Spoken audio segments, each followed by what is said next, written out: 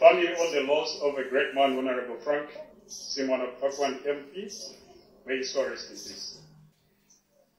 Secondly, I'd like to render my sincere gratitude to the entire Sesheke family and the fraternity for the diligent campaign, waking up on the 12th day of February 2019 amidst a stormy rain weather to vote for me and my great party and the UPND for settling on me to be the candidate in the just ended by-election. I do not take your decision and favor for granted.